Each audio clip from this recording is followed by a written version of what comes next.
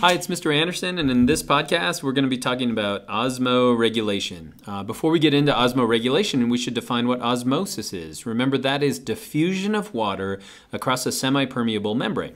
So let's start right here. We have this U-tube, and on this side, we have a high molarity of water, so a lot of sugar on this side. On this side, we don't have as much. And so basically, the sugar would love to spread out, but it can't because the sugar can't fit through the semi-permeable membrane, but the water can. So the water is going to flow from an area of high water concentration to low water concentration. And so basically, if you were to watch this, you couldn't see the sugar, but the, the water on this side would mysteriously raise and lower on this side. It would require no energy. If you were to do the opposite of that, so if you were to do reverse osmosis, we'd have to squeeze it in this direction, we could get pure water. And that's how you actually purify water. If you look on your water bottle, it'll say reverse osmosis a lot of the time. So how does this impact cells? Because in plant cells, it's okay for there to be movement of water because they have a cell wall, but for us, not so much.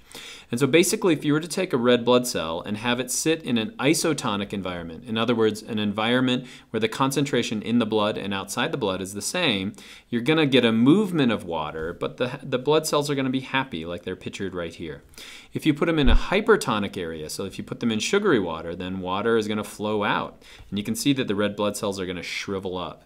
Likewise, if you were to put them in distilled water, water is going to flow in and they're going to pop or they're going to lyse. And so it's really important to the cells in our body that they remain isotonic. So what are the two life strategies? Well, the two life strategies are some organisms have just decided this is too much effort.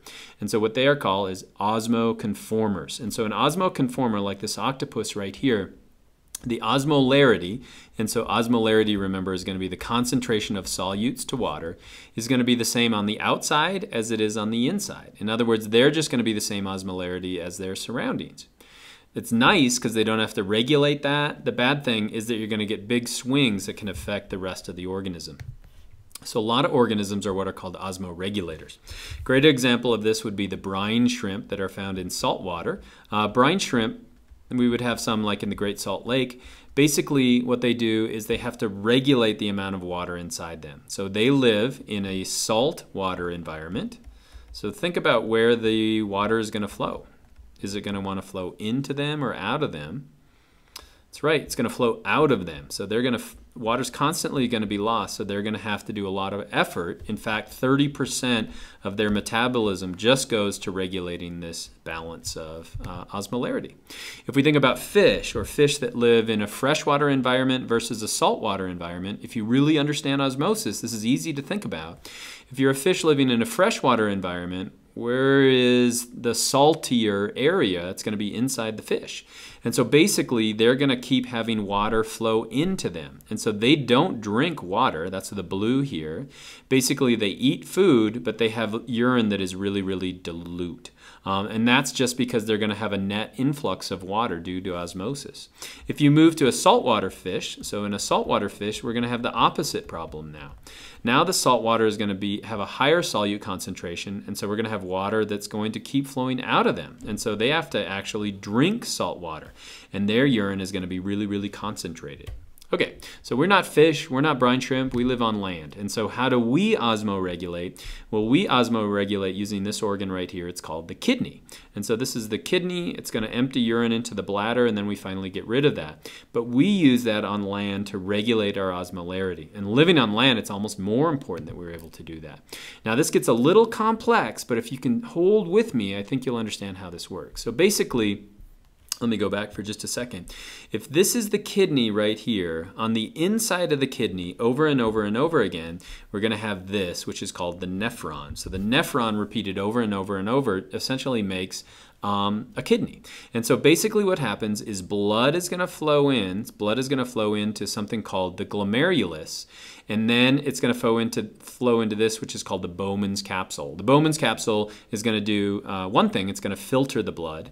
We also have proximal and distal tubule, that's important for secretion and reabsorption, but we're not going to talk about any of that right now.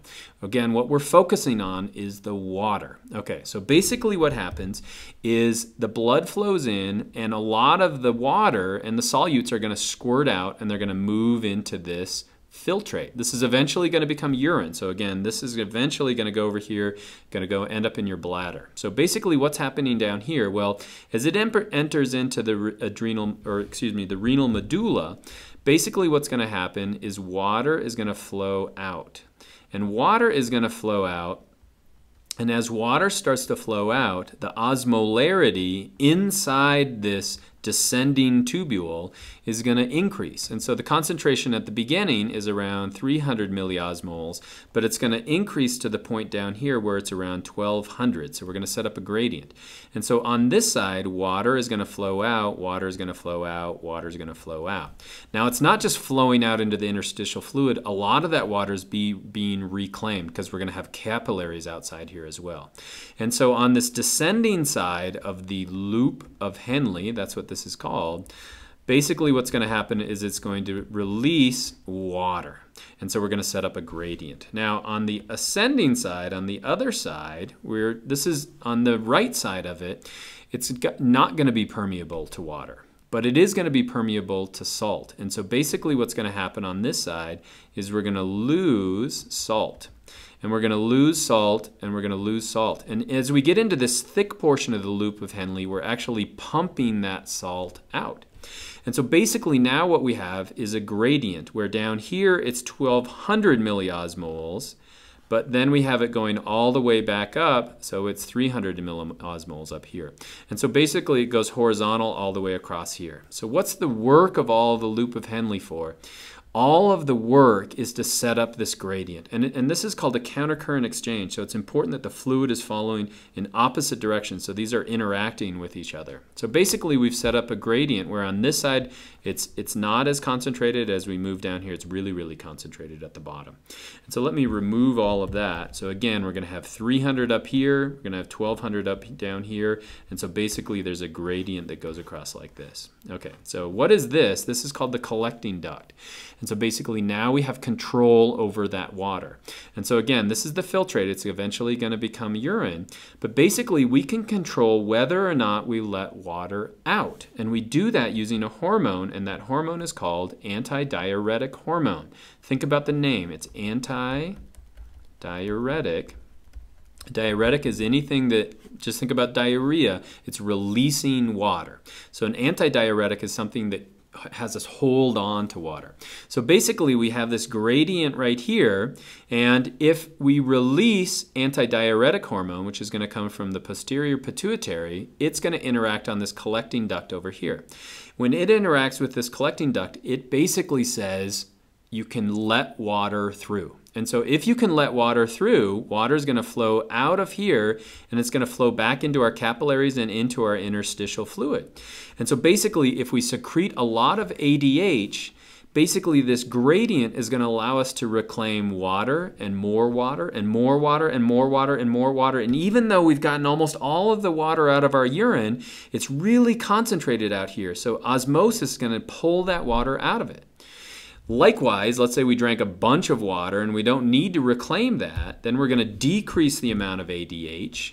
And basically now we can't let water out through here, and so that water instead is just going to flow out into our urine. And so when you look at your urine and look at the different color in it, What's responsible for that? Well, basically, it's the amount of ADH that we're releasing, releasing, but more importantly, it's this wonderful gradient that was set up in the loop of Henle. And so that's osmolarity. Again, we're osmoregulators, and you can thank our kidneys and our nephron for that. And I hope that's helpful.